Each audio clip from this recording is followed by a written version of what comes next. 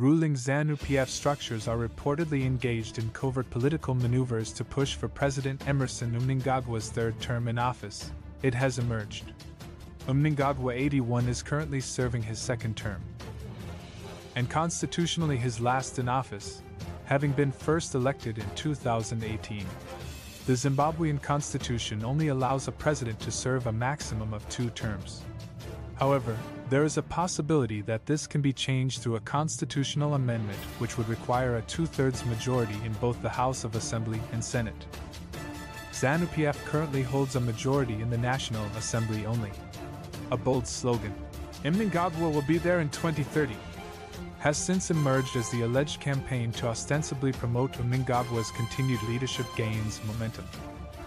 The slogan, political observers note, suggests a concerted effort to extend Mnangagwa's tenure beyond the constitutionally mandated two terms. A video of a ZANU PF Masvingo provincial meeting held over the weekend showing some party leadership doing the slogan has since gone viral on the internet. ZANU PF Masvingo provincial chairperson Robson Mavenyengwa confirmed that the party held its meeting over the weekend, but refused to comment on the viral video. I confirm we held a meeting over the weekend. I cannot comment on what was discussed, said Mavenyengwa. ZANU PF Information Director Farai Marapira downplayed the allegations that his principal was seeking a third term by amending the constitution. President Mnangagwa was recently given a fresh mandate to lead the people of Zimbabwe and is focusing on that. Anything more than that is a lie, he said. Mnangagwa has, however, been accused of strategically using the recalls of opposition legislators as a ruse to secure a two thirds majority in parliament and potentially extend his presidential term.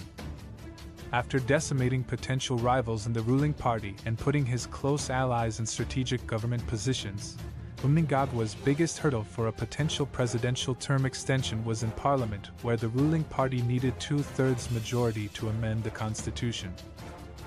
Political observers posited.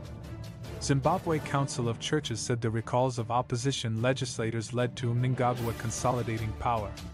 The recalls could be interpreted as a deliberate move to silence and dismantle opposition alternative voices, leading the country towards a one party state, which is a violation of the Constitution.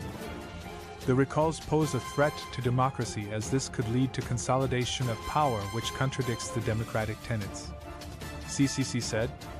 A new study by think tank Zimbabwe Democracy Institute ZDI says the recalls feed into the grand scheme of Mnangagwa's third term ambition the recalls, which have been affected by the ruling ZANU PF party's Speaker of Parliament, who is the Secretary of Legal Affairs in its Soviet style political bureau Politburo intends to reduce the opposition's representation and increase the ruling party's chances of achieving a two thirds majority in Parliament. ZDI said, Whereas the recalls may be misconstrued to be a microcosm of internal opposition CCC squabbles, they feed into a broader dual securocratic state consolidation project.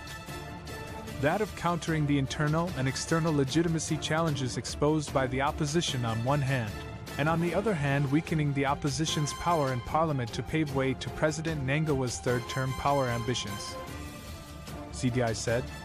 Political analyst Pardon Todzera sounded the alarm warning that the maneuvers to extend Mnangagwa's term had serious implications on Zimbabwe's democratic institutions. The push for Mnangagwa's third term represents a significant erosion of democratic norms and principles. It sets a dangerous precedent and undermines the will of the people, he said. Zimbabweans deserve a leadership transition based on democratic principles and the rule of law. Any attempts to circumvent constitutional safeguards for personal gain will only deepen political instability and undermine the country's progress.